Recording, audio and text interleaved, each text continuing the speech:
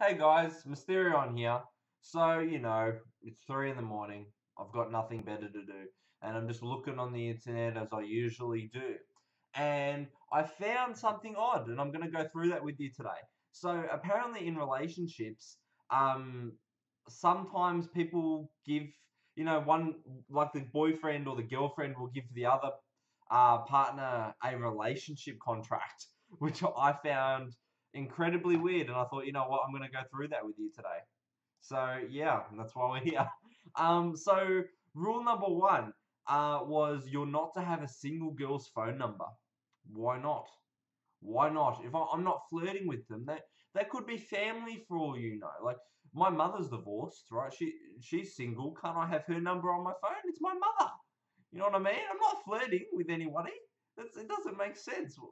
When you enter a relationship with somebody, you know, you enter a relationship and you need to trust them. If you can't trust them, why bother being with them?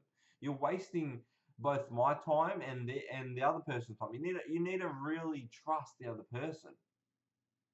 And the second rule is you're not allowed to follow uh, the single girls on social media.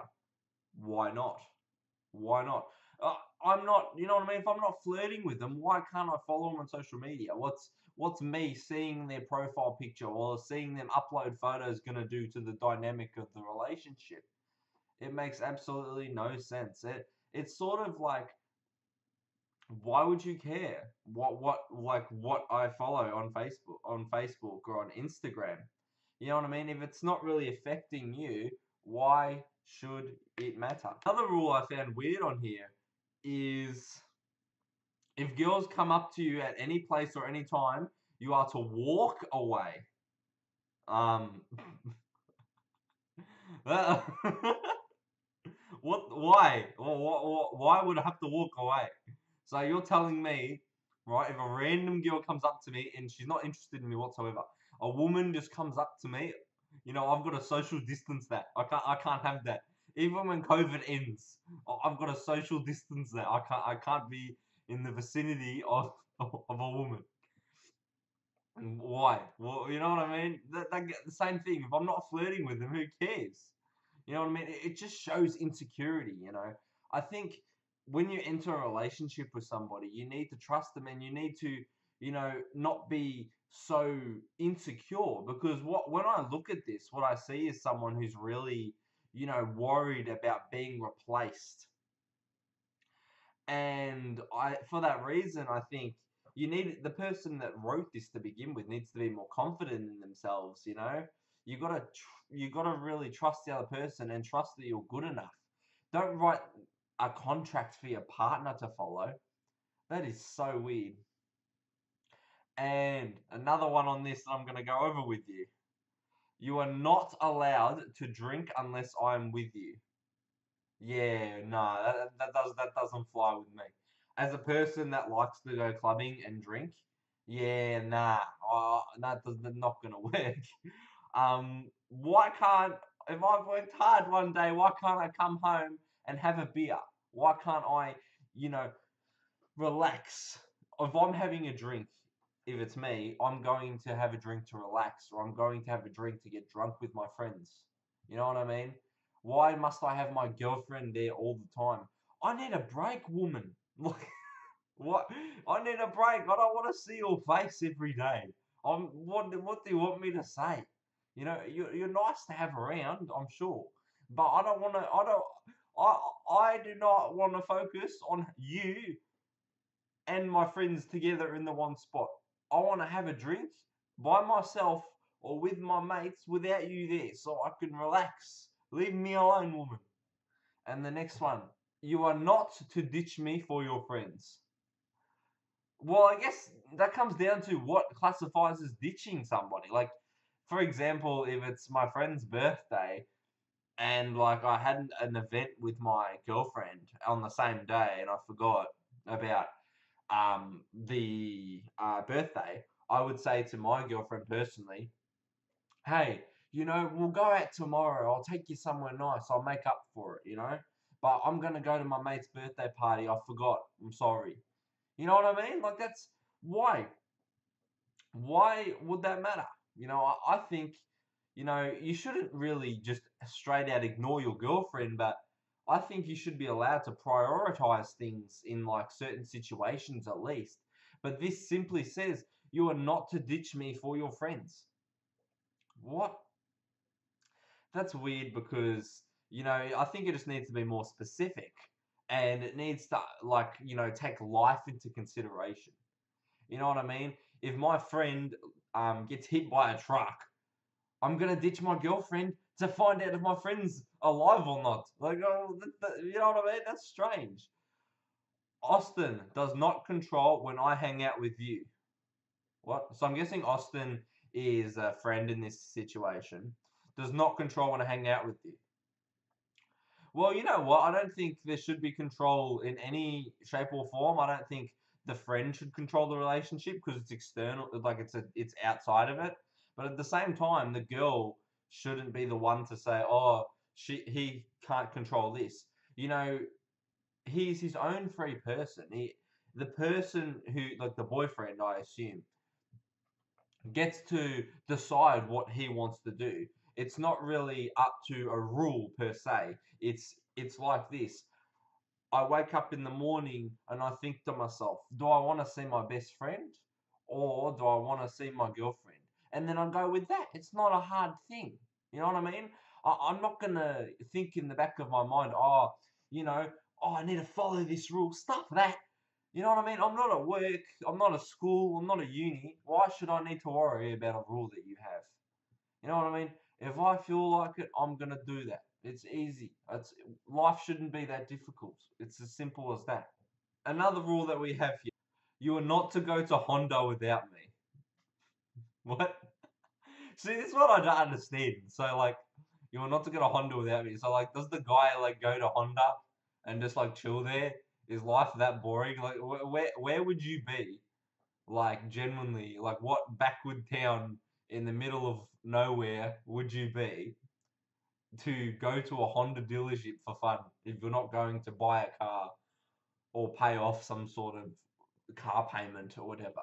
I don't understand why you would just go to Honda and just straight up just chill there. Like you are not to go to Honda without it. That makes no sense. I, is is she assuming that like he is only to go to Honda with her because he's like she wants him to buy her a car? Um, I I, I don't understand that. That that's kind of weird. I don't understand why that is a specific rule. Like what what scenario caused it to be such a problem that she because you have to understand this. She sat down and thought all of these up and typed them out on a Word document and printed it out. You know what I mean? Or on a notes or whatever and printed it out. And she, in her mind, she, you know, it ticked and she said, "Oh, Honda's a Honda's a problem. No, I'm gonna write it down now." And that's now it's in there. You're not to, and another rule, you're not to get mad at me about a single thing ever. um, that's not gonna work, love. Um, okay, in life, you know, relationships, we, you get mad at each other, and sometimes it's for valid stuff, and sometimes it's it's for dumb stuff. You know what I mean? But you must not get mad at me. That's stupid. Yeah, people have emotions. You know, it's normal to get frustrated because people do stupid things. And I think and I think in a relationship, you just need to work it out with each other, resolve it, and get back to normal. Or if it's bad enough, just throw them in the bin, get rid of them. It's not hard. Yeah, just something like that. You, you need to think of it that way. Uh, you, for uh, my girlfriend to say to me, "You are not allowed to get mad at me," I would think to myself, "Oh, she controls my emotions now." and then I'd think to myself, nah, that's not gonna work, and then I just get rid of her. That it'd be it would be a simple decision. Even if, if I don't care if I've been with her for a day, a month, or ten years, the the day that my partner can tell me how I should feel is a day I'm gonna get rid of them on the spot. I don't know about you, but that's how I feel about the situation. If I say jump, you say how high, princess. See, that's okay. Yeah, no, that that goes back to control again. That whoever wrote this, this woman seems like an absolute control freak, And I honestly, if I was this boyfriend, I would honestly, to be honest, I I would most likely like straight up burn this and like record it. just because I'm savage like that, I- I'll just burn it and show it to her that I've burnt it. And then after I burn it, I'll say to her, I'm not gonna say how high princess, and then just block her on basically everything. Because that's weird. Nah, you know what I mean. You're not you're not my boss. You're not paying me to listen to you, and you're not my teacher or my lecturer. I, I, don't I don't need to follow what you say. I'm my own person, and it's as simple as that. I think you need to act reasonably, and so do I. But it sort of reminds me if I say if you if I say jump, you say how high princess. You know, I think of like if I'm in the military and a general or like my commander's yelling at me, that's the only situation I could like fathom myself if if that person said jump to me, I would ask how high. I wouldn't call them princess, I'd get the crap beaten out of me. But you know what I mean? I'm allowed to do a phone check whenever I please, is one of the rules. Yeah, nah, that's toxic as that's nah. Nah, that's not gonna work either. I personally would never ever check my girlfriend's phone phone and I would never allow my girlfriend to check my phone. I personally think that it's absolutely invasive to have like what gives you the privilege privilege to check my phone. You know what I mean? You should trust me. If you don't trust me, go. It's as simple as that. I I do not believe that I should have to police my partner and vice versa because of an insecurity. It's it's a simple trust thing. I I, I believe that it's absolutely an invasion of privacy. You know, I think of the thought. I don't know if you've read 1984, but when I think when I read these stuff, I think of the thought police. I, like, it genuinely feels like that. Like when I read this stuff, it's so bad. Thank you very much for watching, guys. Uh, this is my first video. Please like, subscribe, and share. If you have any idea for other content you'd like me to talk about, please feel free to leave it in the comments. I'd love to make more videos for you. Peace.